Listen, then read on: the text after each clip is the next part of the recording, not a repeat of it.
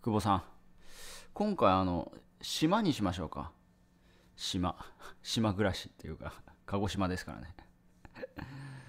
まああの孤独まあ僕は相談する人いないんですけどまああとなんだあの東京で行った人もいないですよね。東京にいた人が僕と一緒に鹿児島に来てないので、まあ、お客様数名いますけどまあ基本的にもう一人ですね。完全一人で、まあ、全部いろいろやってますけど。うーん。なんかねまあ一人が孤独は最強まあ与沢さんも言ってましたけどやっぱ孤独は僕最強かなと思うんですね。うん。やっぱりそのなんだろうな。鹿児島来て僕は思ったのがやっぱ東京はねありすぎるんですよ。人も物も。まあちょっと歩いたら何でもあるんでまあなんか便利も不便というか不便ではないんだけどなんだろうなうん研ぎ澄まされますね何もないから、まあ、夜になまあ久保さんのところもそうだとは思いますけどなんか繁華街とかないですよね。よまあ、渋谷、渋谷の、渋谷のセンター街とかみたいなとこないですよね。久保さん住んでるとこ。夜になるとね、ほんとびっくりしたのが、シーンってなるってね、シーンって。スズムシの音とね、カエルの音とかね、静かだなみたいなね。だからね、なんかね、ややることに没頭できますよね。うん、なんか余計な、まあ雑音がないって感じですね。余計な雑音がないから、まあやるべきことに集中できるし、うーん、自分を見つめ直しできるし、まあその、あまり影響されないですよね。影響、人と会わないし。久保さんも多分ね、人と会うことはほとんどないと思うんですけど、うん、僕もほとんどないですからね。まあ動画を撮ってますけど、会うってことはほとんどないですね。うん。だけど、東京にいる時よりかは充実してますね。東京はいっぱいあったんだけど、うん、充実してますね。うん。やっぱね、まあ僕はま自然が好きっていうのもあるんですけど、やっぱ綺麗なんですよ。山も海も川も。まあ夕日とかもすげえ綺麗なんですけど、このここここの夕日を見て鹿児島の夕日見て、東京じゃねえなみたいな全然違うんですよねうんな芸術ですよね。芸術。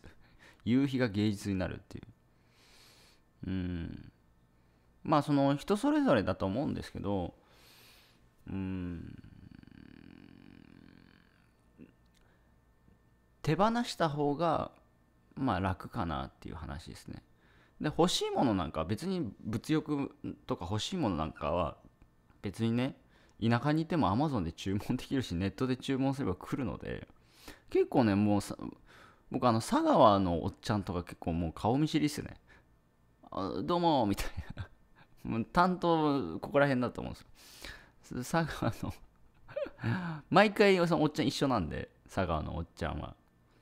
うん。結構もうあの毎回見ますね。注文多いんで僕結構。そう。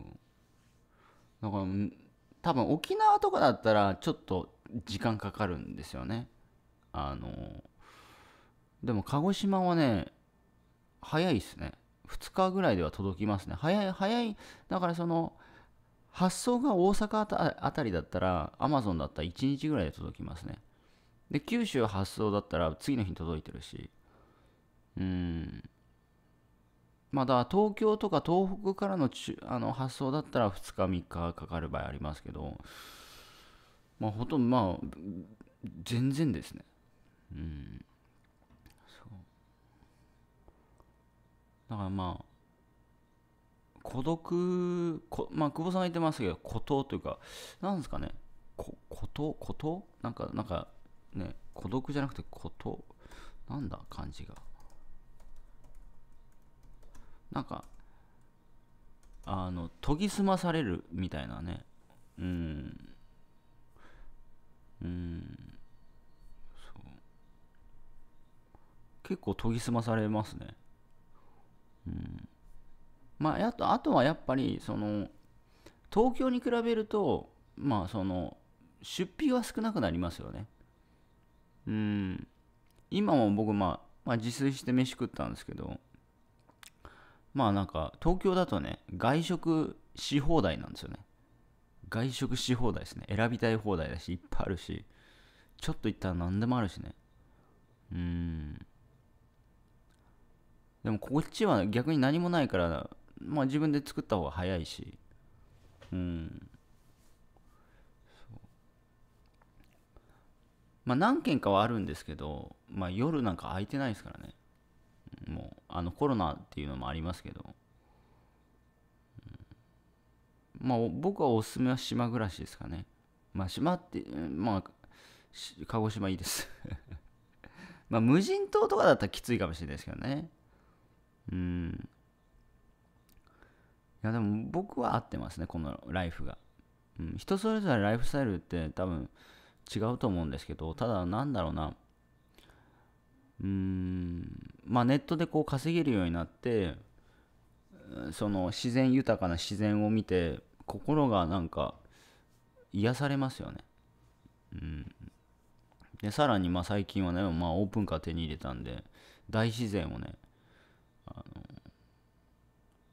気持ちいいですね。うん。よかったですね。うん、おすすめです。まあだからどこに住むかって結構僕大事だと思いますよ。うーん。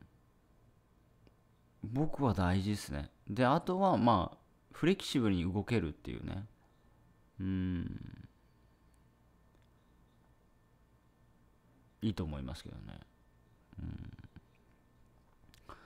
まあ時代は変わってますので、やっぱその変われるように、フレキシブルに動けるようにしとくっていうのは結構いいと思いますけどね。うん、まあ普通に会社勤めだったらその会社から半径何キロとかね、まあ、それで人生決まるわけじゃないですか。まあ、久保さんは一軒家買いましたけど、別に自分の選択で買ってるわけですから、まあ、それそれいいと思うんですけど、なんかその会社中心に人生がやっぱなっちゃってるじゃないですか。勤め先っていう。うん。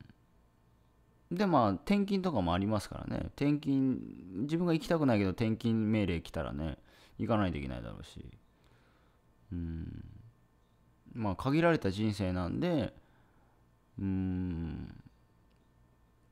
だこの前本当に思いましたね。ドライブ、ドライブ、ドライブしながら適当に旅館探して適当に泊まってまたドライブしてまたって。何なんだこれみたいなね、うん、でもパソコンあればどこでもできるので。うん。まあ今 w i f i がない宿ってでももうほぼないですからね多分。うん。時代変わってるんで時代を使うといいと思いますね。時代時代の流れに乗るというか時代を使っていくっていう感じですかね。